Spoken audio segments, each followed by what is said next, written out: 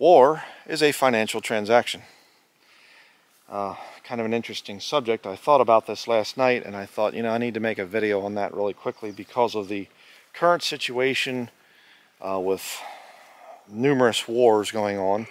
You have the Israel, you know, Iran situation, China, Taiwan, and Russia, Ukraine situation. Three different fronts and a multiple front war with a lot of nations involved typically will become a world war. So I believe World War III has already started and right now they're just kind of moving things into position. And um, you have to understand it from a financial perspective. It's not about good guy versus bad guy. You know, the, the bad guys rose up and they attacked the good guys and the other good guys have to defend the bad, uh, the good guy that's been attacked and the bad guys have to be taken down and he'll get his bad guy friends and no, uh, that's not how it works. And um, I'm going to show you a passage of scripture here uh, where the Lord Jesus Christ talks about this very issue. So let's go to the scriptures. We're in the book of Luke, chapter 14. We'll begin in verse 31.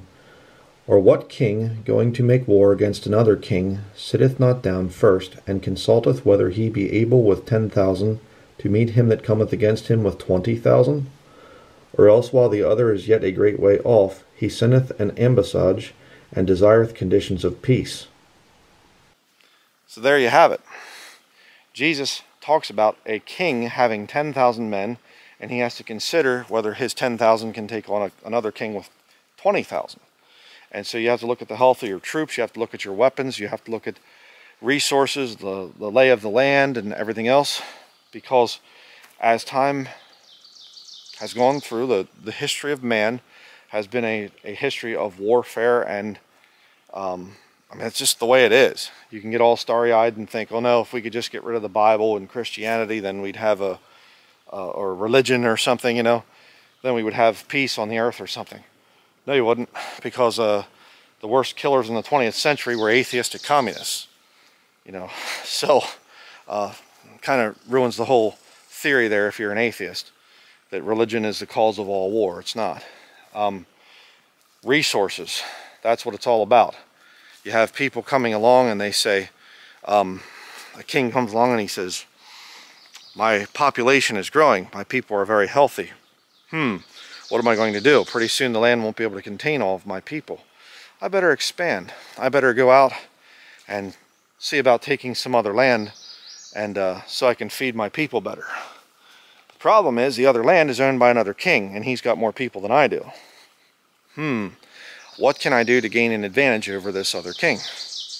And um, all the civilized talk and everything of the modern world, oh, you know, we're here to, you know, promote peace and tolerance, and it's all just a bunch of smoke screens and, and lies to deceive people into thinking that leaders actually want peace when they don't. Leaders want uh, to be able to expand. That's why it's war is a financial transaction.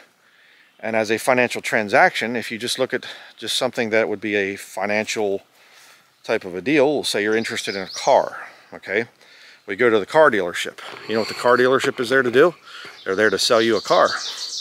And uh, so you turn on the idiot box or, you know, tele or uh, internet or something. And here's your, you know, local car dealership and they have a special little uh, commercial or a little catchy little tune or some kind of a thing or whatever else to try to get you in to sell you a vehicle. And you go in there and there's a nice showroom that's built, you know, nice sports car there in the in the lobby and whatever. It's all sales. You see what I'm saying? Um, and they want to get you into that. They want to convince you that you can afford this vehicle and that it's a wise decision. I think you made a very good move, sir, and we're going to give you a special deal just, you know, today only and the whole thing. That's what they're doing right now. They're trying to convince people that there's the poor oppressed people of Ukraine need our help and our finances and we need to bankrupt our nation in order to, you know, keep the war effort going, you know, the military industrial complex. And so they're going to have to sell this war. And quite frankly, America's been trying to get uh, Russia to attack America for a long time so that they could justify a new war effort.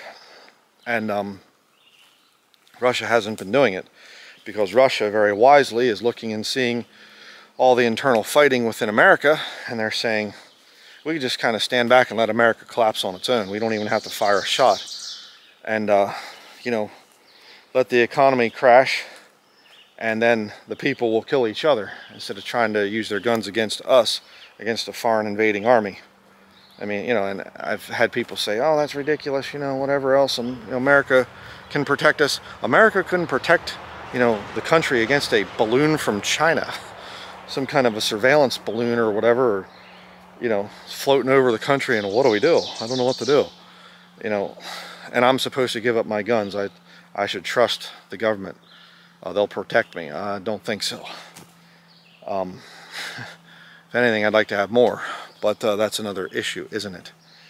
But my point I'm trying to make here is you always have to look at war as a financial transaction that they want to market it to you and sell you on the idea of it's very important that we go to this new war that we uh, can that way well it's not about expanding it's just we're trying to preserve freedom and protect you know peace and whatever else and uh, I saw this um, uh, anthem for the Space Force or something, you know, the, the sixth branch of the military here in America or, or whatever we have now. Donald Trump, you know, created the thing, signed it into law and whatever. I don't know if it's into law or however you would say that, signed it into existence. And they were talking about how that, you know, the world depends on us to preserve peace and security and and all this other stuff and that we're going to do it in space outer space now. You know we'll we'll make our spaceships and we'll go flying around and we'll protect the the earth. You know okay. Yeah yeah sure. Yeah i don't think the world depends on america to, to keep peace and security. Um, i don't think so. You study the wars and things and all the different provocations and all the uh, stuff that america's been involved in uh, we're not preserving any kind of peace and security in the in the world that's ridiculous. But um, again, as a Christian, what should our response be to this whole issue? Well, you have to understand that uh, God will judge a nation with war. He does. God says, okay, this nation is very wicked. This nation is very evil and I'm going to send uh, start a war and these young people that reject me and that, that mock me and whatever else, I'm going to send them to war. And so uh, when you see things lining up, you see the secular world getting ready for World War III, and you see the fact that um, God needs to judge the world, um, you start to realize, I think we're definitely going into it. So but I just wanted to say this, this whole thing because it lines up perfectly with the Lord Jesus Christ, with his words there, you know, that it's all about finances, it's all about money, it's about expanding resources. And you have to, to realize that. Do not fall for the propaganda.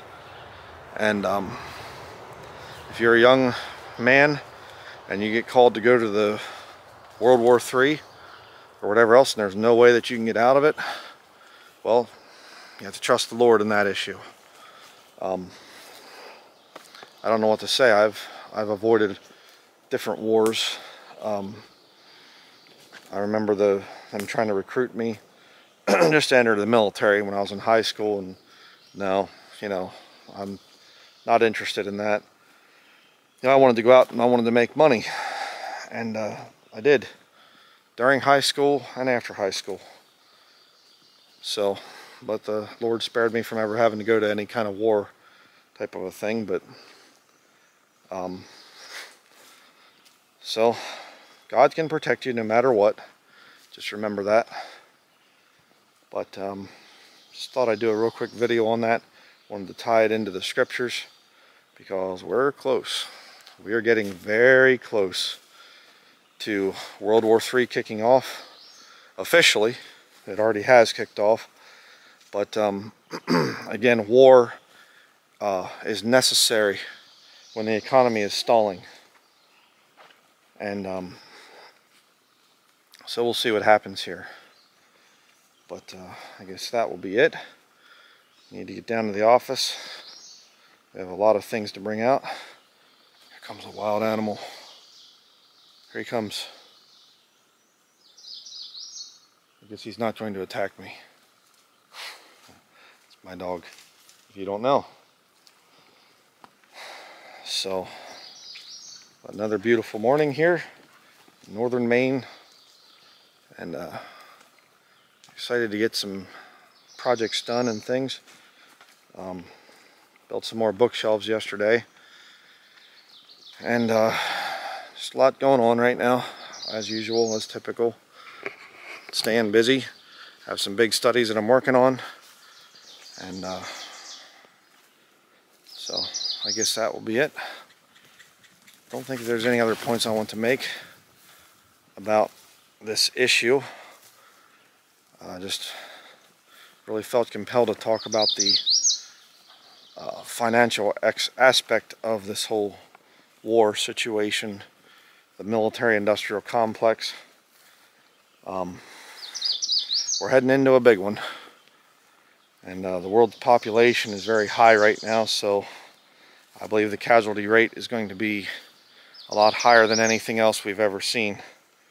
I think the casualty rate of World War III is going to probably be the biggest loss ever in the history of man. Uh, much bigger than World War II. And uh, but that's how the finance system works too. Always seeking to um, one up, so to speak, the other, the ones in the past and things. We'll do better. We'll we'll have more death, more suffering, more money made. So, all right, having to walk through the grass here. It's a little bit wet right now. The morning dew. Bird flying there. But um, just trying to see if there's anything else I want to show here, but I guess not.